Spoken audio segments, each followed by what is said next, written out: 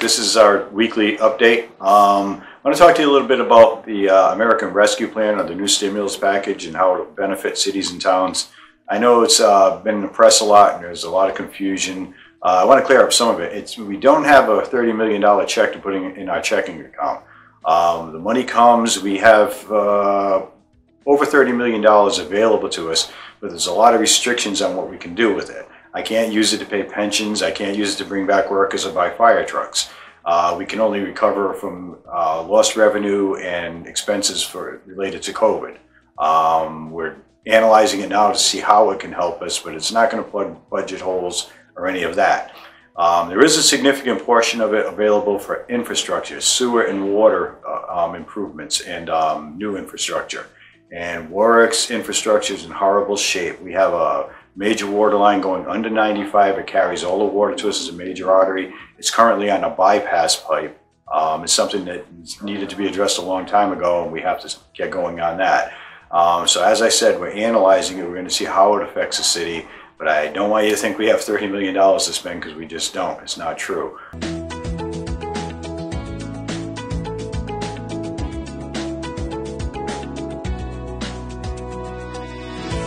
This week, we've started a meeting with all the department directors uh, with their budget proposals. Um, it's a long process. It's a fluid process. Like I said uh, it, about the American Rescue Plan, it may affect some of this a little bit. Um, we lost a lot of revenue last year due to um, hotel and restaurant taxes. Uh, people weren't out there. We get a, per, a percentage of that tax. Um, we, we lost for the pool, the skating rink. We you know a lot of revenue from that. So we're have to working that all out.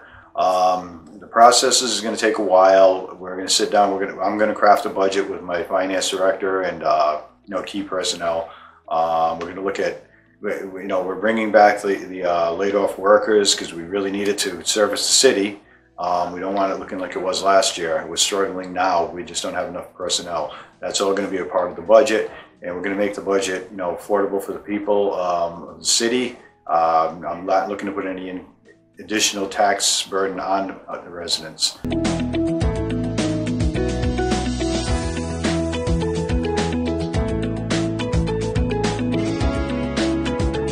We're currently on the second dose phase of our vaccination clinics. Um, where we had three weeks of Moderna and one week of Pfizer, so we have to do two in one weekend. And um, we're also finishing up the teachers. School departments is really taking care of that by themselves with the, fire department. Um, our fire department, our volunteers, our city workers have done an incredible job throughout this clinic, but it's ending now. Um, it's, it, the state is uh, opening other sites um, that, that aren't particular to a municipality. Um, I actually got my own shot yesterday from CVS. I didn't get it done for the city. My wife went online and she, you know, through a lot of work, she was able to get me an appointment. So um, I, I, read last night that, um, that Walmart is going to start doing it. So that should really, you know, increase the availability. So get out there, start registering, you know, go on state sites, go on CVS, Walgreens, wherever you can find it, and just get your shots and stay safe.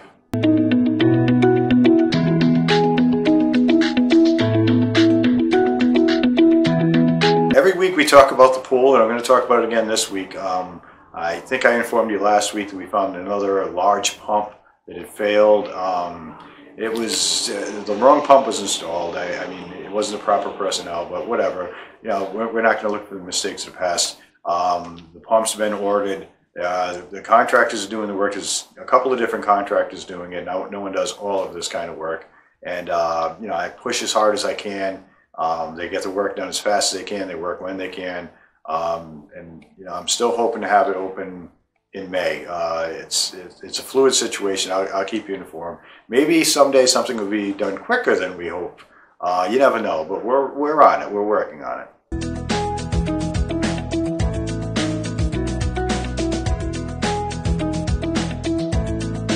Working on a plan. Everyone remembers the Apponaug uh, circulators last year the, the project with the, uh, the, landscaping and all that. Um, I'm meeting with the DOT.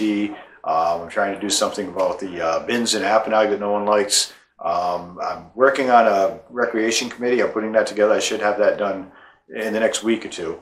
Uh, I want to explore different ways to redo our facilities because they're, you know, they're not what they should be. They're not even close to what they should be for the residents. Um, I'm also, also gonna be, be putting together an advisory committee on education. Uh, we have to start getting discussions going about how we can improve the schools and how the city can help with that. Um, so like I said, you know, I have other things I can work on now that everything is relaxing with COVID. The federal government and the state have been very optimistic about people getting vaccinated um, in not too distant future. So it looks like there's light at the end of the tunnel. Uh, Gaspee Days Parade is on. I'm really happy about that. Um, hopefully, we're going to have the fireworks. We're going to do everything we do and more to have fun in the summertime. Um, we've been cooped up a long time, and, and you know we're going to get out. We're going to be together. We're going to celebrate, and I'm really looking forward to that. Uh, I'm hoping the weather changes pretty soon. A little bit of snow is predicted tomorrow, but I think that's just a bump in the road. Um, better days are coming to work, and, and I'm really looking forward to them.